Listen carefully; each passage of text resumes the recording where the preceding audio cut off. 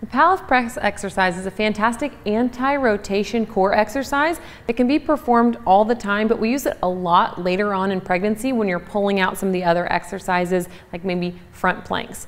But one thing that you need to think about is this exercise is a lot harder than it looks, so pay attention to the subtle nuances that I'm going to describe.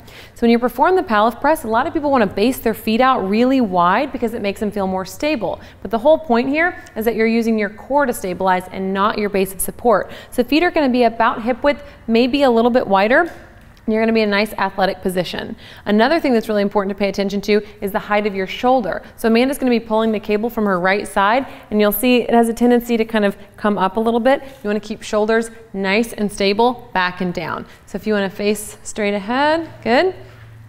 Okay, she's gonna grab it, pull it to her sternum, make sure her alignment's solid. She's not gonna stick her bum out and she's not gonna tuck it under. She's gonna be a nice Good alignment. So she's gonna hold the band at her sternum. She's gonna press the weight out. Good. Yep, and just hold it for about a second when you're out. And she's resisting the urge to rotate to the right. Good. Shoulder blades back and down. She's not letting her shoulders come up to her ears. She's not letting them round forward. Good.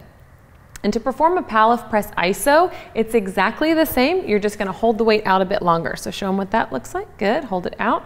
And you hold it for the allotted amount of time.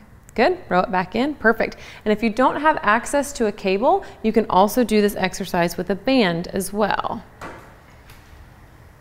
Same thing, get in position, feet about in line with the hips, maybe a little bit wider, nice solid posture, press the weight out, good.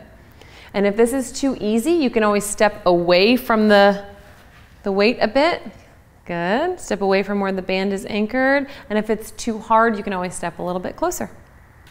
So that's the Pallof press and the Pallof press iso with the cable and with the band.